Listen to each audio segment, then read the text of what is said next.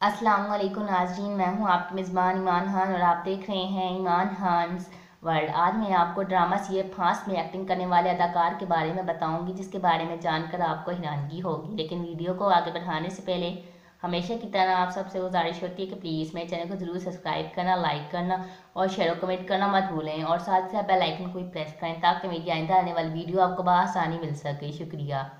तो नाजरीन, अब बात करते हैं ड्रामा सी फांस में एक्टिंग करने वाले जैन अफजल की।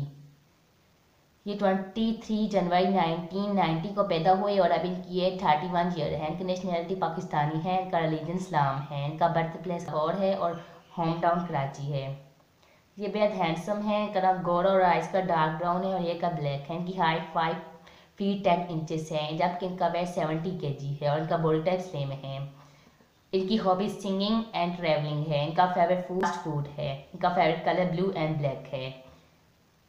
इनका प्रोफेशन एक्टर एंड मॉडल है। और आप बात करते हैं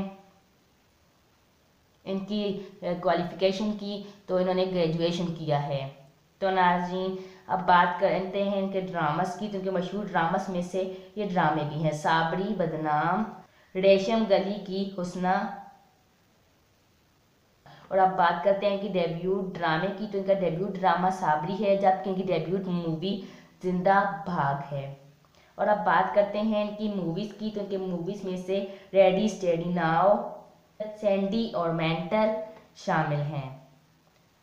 तो नाजिन आज का ये ड्रामा सी फांस में एक्टिंग करते हुए नज़र आ रहे हैं।